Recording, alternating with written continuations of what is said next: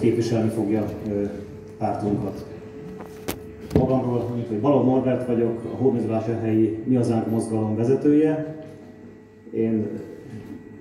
hogy egy 30 éve képviselem itt Vásárhelyen a nemzeti oldalt, szóval pont 92-ben és ráadásul nekem a szívem csücske, itt, lettünk a mezgébe, mert én 92-ben itt kezdtem a mezőgazdasági szakközépiskolát,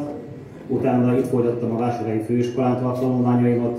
szóval ebben a, a, ebédlőben is 8 éven keresztül ebédeltem, 8 éven keresztül koptattam itt a padlót és a falakat. Volt, amikor itt vizsgáztunk például egy matek kiemelt hely volt, amikor ide küldtek bennünket.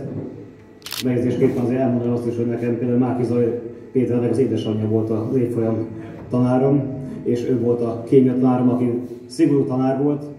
és inkább a nemzeti oldalt képviselte, ezért is nehéz azt meglátni, meg átverezni, hogy hogy mehetett el ennyire, ennyire a kedves fia, hogy hogy tudott ebbe az irányba elsodródni, de most nem akarok többet róla beszélni, mert nem azért vagyunk itt, hogy másról mondjunk véleményeket, inkább arról beszéljünk, mint ne úgy, mint a többség, hogy mi nem, mi nem akarunk folyamatosan Orbánozni, nem akarunk folyamatosan MZP-zni, mi azt szeretnénk mondani, és azt szeretnénk képviselni, amit mi érzünk, amit mi szeretnénk, és amit már Torockai László barátom is, és én is képviselek már több évtizede, és egy úton haladunk egy irányba, és nem mi változtunk, nem mi alakultunk át, hanem körülöttünk sajnos eltűntek pártok, átalakultak rendszerek, megváltoztak emberek, de mi maradtunk azok, akik voltunk, és próbáljuk az utat tovább vinni, és tovább küzdünk azért, hogy az országunk magyar maradjon, és újra erős és nagy legyen. Szeretném bemutatni Veres Csaba Leventét, aki elvállalta ezt a nem könnyű feladatot, hogy két ilyen vezető mellett, aki itt a városunkban most harcol egymással, képvisel mozgalmunkat, képviseli azt a hitet, azt a mélyről jövő nemzeti gondolatot, érzést, és ő is töretlenül, úgy mint én. Csabát Magyar szigeten ismertem meg korábban. Ő volt a hangosítunk, technikusunk a Magyar Sziget rendezvényeinken, és 2006-ban, sokan nem tudják, de 2006-ban, amikor az összödi beszéd elhang,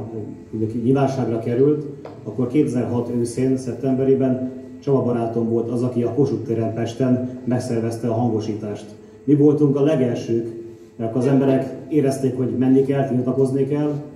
kivonultak a tér, terekre, kivonultak a, akkor a budapesti Kossuth térre a parlament elé, és hangot akartak adni a nem tetszésüknek, hangot is adtunk annak, hogy,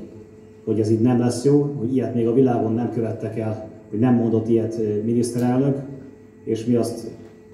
úgy is kifejeztük, hogy, hogy Csaba fogta, és a technikáját, a színpadot, mindent megépített rögtön egy pár napon belül, és minden pártot megelőzve, minden mozgalmat mi adtunk ott napokig, hetekig hangosítást.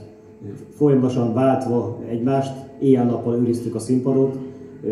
ott voltunk szeptemberben az első napokban, hideg éjszakákon is végig, és próbáltuk képviselni az igazunkat, és nem akartuk azt, hogy beletörődjünk, és úgy vagyunk most is ezzel, nem akarunk beletörődni abba, hogy sokak szerint nem lehet csinálni semmit, mert igenis lehet, mert a mai világban is az van, mint akkor is, most is, régen is, talán jövőben is így lesz, hogy aki mer, annak sikerülni fog változtatni. És az utunk bizonyítja azt, hogy még mi itt vagyunk, egyre többen vagyunk, és egyre többen képviseljük azt a hitet, azt a hazaszeretetet, amit nem bírtak belőlük kiölni. Át is adnám a szót Csabának, és akkor folytassa a bemutatkozását. Köszönöm szépen Norbertnek. Valóban Norbi előbb kezdte a 64 Vármegyé Ifjúsági Mozgalmak nevű alapító tagja volt. Én egy évvel később, valóban egy Magyar Szigeten ismerkedtem meg ugye a 64 Vármegyé Ifjúsági Mozgalommal, mert nagyon sokan innen, onnan jöttünk, illetőleg a mostani hát, jelölteink, harcos társaink is nagy részt még Lacinak a első ilyen nagy mozgalmából vagyunk. És valóban egy példaértékű volt, hogy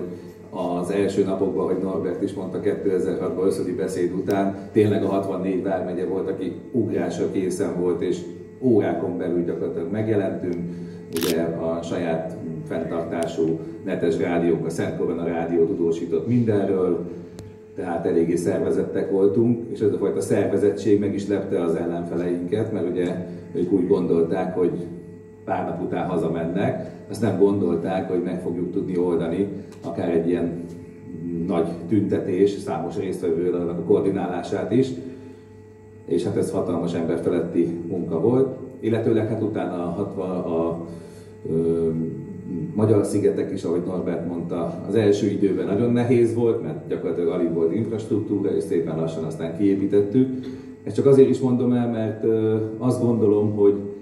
ez nagyon jó próbája, mondjuk ha valaki egy város, vagy ne is egy országot szeretne vezetni, tehát hogy meg tudja mutatni azt viszonylag kicsiben, hogy kérem, én meg tudom ezt szervezni egy hétre, egy hónapra egy rendezvényt, nem halnak éhen az emberek, van víz, van minden, akkor azt gondolom, hogy talán képes ugye, bonyolultabb dolgokat is megszervezni, akár egy város, vagy egy megye, vagy egy ország irányítását is. Ezt nagyon fontosnak tartom. Ugye hát jó példa erre Laci, aki valószínűleg sokára meg is érkezik, aki az ásodhalmot egy pillanat alatt gyakorlatilag felvirágoztatta, és ugye az az érdekes, hogy nem is volt mögötte ugye hatalmas hátszél, sőt talán még azt lehet mondani, hogy szembeszélben is meg lehetett csinálni. Tehát érthetetlen számomra, hogy bizonyos kormánypárti településeken például miért nem tudnak nagyobb horderejű programokat megszervezni és megcsinálni, amikor ott még támogatás is lenne. No, visszatérve a sztorizás után magamra,